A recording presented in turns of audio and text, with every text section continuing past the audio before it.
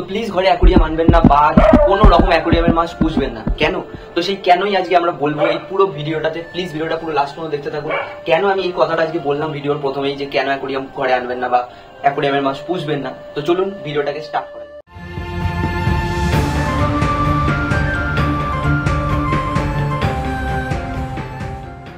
Hello guys আমি রনি তার আপনাদের আপনাদের প্রিয় YouTube channel rebel spate house তো আজকে আমরা আলোচনা করব যে অ্যাকোরিয়াম সম্বন্ধে বা অ্যাকোরিয়ামের মাছ সম্বন্ধে এই পাঁচটি বিষয় যে পাঁচটি বিষয় আজকে নিয়ে আমি আলোচনা করব পুরো ভিডিওটাতে। যদি আপনারা কেউ না জেনে থাকেন, তো প্লিজ রিকোয়েস্ট আমার অ্যাকোরিয়াম ঘরে আনবেন না বা কোনো রকম অ্যাকোরিয়ামের ফিশ ঘরে আনবেন না। তো তো চলুন ভিডিওটা স্টার্ট করাই তো ভিডিওটা স্টার্ট করার আগে সাইডে দেখতে পাচ্ছেন, এখানে আমার দোকানের লিঙ্ক দেওয়া আছে মানে দোকানের ভিডিও লিঙ্ক দেওয়া আছে, এমনকি গুগলেও লিঙ্ক দেওয়া আছে তো আপনারা আপনার দোকান ভিজিট করতে পারেন যখন খুশি। তো সেখানে এসেও আমার থেকে সাজেশন নিতে পারেন, যতটা আমার অভিজ্ঞতা আমি আপনাদের সাথে শেয়ার করব। তো প্লিজ এটাকে একবার ভিডিওটাকে একবার আপনারা দেখুন।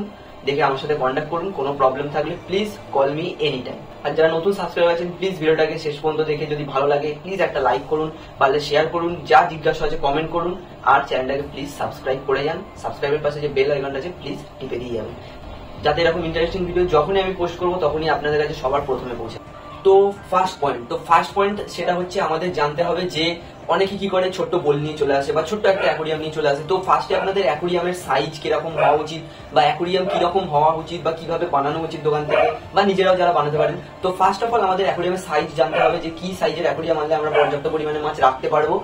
আর নিজে মানে নিজ দক্ষতায় আপনাদের অ্যাকোরিয়াম বানানোটাও শিখে নিতে হবে যাতে পরবর্তীকালে যদি কোনো রকম প্রবলেম হয় অ্যাকোরিয়ামের লিকেজ থেকে শুরু করে যদি কোনো গ্লাস ব্রেকও হয়ে যায়, যাতে দোকানদারের উপর ভরসা আপনাদের করে রাখতে না হয়, চট জলদি আপনারা ঠিক করে নিতে পারেন। তো এই হচ্ছে ফার্স্ট পয়েন্ট ফার্স্ট পয়েন্টে আপনাদের খেয়াল রাখতে হবে অ্যাকোরিয়াম কীভাবে বানানো হয় বা অ্যাকোরিয়াম কীভাবে বানাতে হবে অ্যাকোরিয়াম সাইজ কীরকম হওয়া দরকার সেই অনুযায়ী। তো সেকেন্ড তো সেকেন্ড আপনাদের জানতে হবে যে অ্যাকোরিয়ামের যত রকম ফিস আছে, তাদের বিষয়ে আপনাদের আগে পুরোপুরি বিষয় জানতে হবে যে কোন ফিশের সাথে কোন ফিশ থাকবে অনেকে এরকম করে গোলফিশের সাথে, যারা জানে না অবভিয়াসলি আমিও আগে জানতাম না গোলফিশের সাথে অস্কার নিয়ে চলে আসে বা চিকলেট গ্রুপের কিছু মাছ নিয়ে চলে আসে। তো কার সাথে কোন ফিশ থাকবে লাইফ টাইম অবধি কোনো মারপিট ছাড়া বা কোনো ড্যামেজ হওয়া ছাড়া? তো সেটা আপনাদের প্রথমে জানতে হবে। তারপর আপনারা প্লিজ অ্যাকোরিয়ামের মাছ নিয়ে আসুন ঘরে, কোনো প্রবলেম হবে না। তো থার্ড পয়েন্ট হচ্ছে থার্ড পয়েন্টে আমরা রাখব মাছের ফুড কি ফুড দিলে মাছের আয়ু মানে বৃদ্ধি পাবে, মাছের কালার এনচান্স হবে? অনেকে কি করে দশ টাকার একটা খাবারের প্যাকেট নিয়ে চলে এলো বা চল্লিশ টাকার খাবারের প্যাকেট নিয়ে চলে এলো?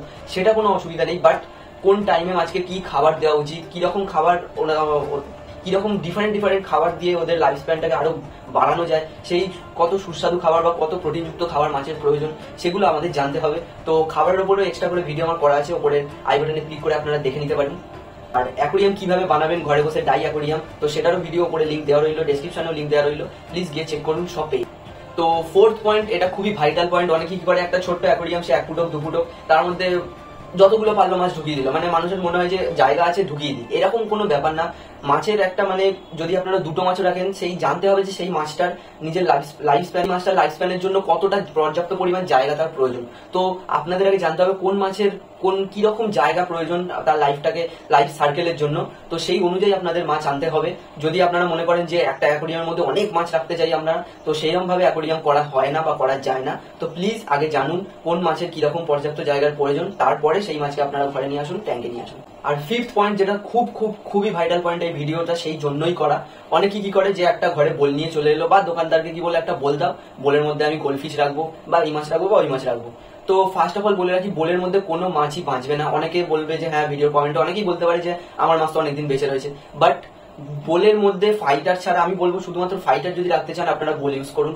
নচেত কোনো অন্য মাছের জন্য প্লিজ এটা মানে হিউজ একটা হিউজ প্রবলেম হয়ে গেছে সারা ওয়ার্ল্ডে যে বোল মানেই হচ্ছে ওর মধ্যে গোলফিশ রাখা যায়। তো এরকম ভাবে আমরা গোলফিশটাকে পুরোপুরি গোলফিশ যে মাছটি আছে, তাকে পুরোপুরি আমরা তার ক্ষতি করে দিচ্ছি। অনেকেই বোলের মধ্যে দুখানা গোলপিস চারখানা গোলপিস বড় বোল হলে ছখানা গোলপিস তো এরকম ভাবে প্লিজ আপনারা করবেন না বোলের মধ্যে ফাইটার ছাড়া অন্য যে কোনো মাছ আপনারা প্লিজ করবেন না। তো এই যে পাঁচটি পয়েন্ট আজকে বললাম, তো সেগুলোর উপর আলাদা আলাদা করে ভিডিও আমার চ্যানেলে করা আছে। সবের ডিসক্রিপশনে লিঙ্ক আমি দিয়ে দেবো, এমনকি আই বক্সেও আপনারা পেয়ে যাবেন। তো প্লিজ ভিডিওগুলো চেক করুন, ভালো লাগলে লাইক করুন কমেন্ট করুন। যতটা পারো আপনাদেরকে সাহায্য করার চেষ্টা করব। তো আজকের ভিডিও ইনফরমেটিভ ছিল কিনা প্লিজ একটু আমাকে জানাবেন কমেন্টে আপনারা। তো ভিডিওটা এখানেই আমি শেষ করছি। Thank you have a good day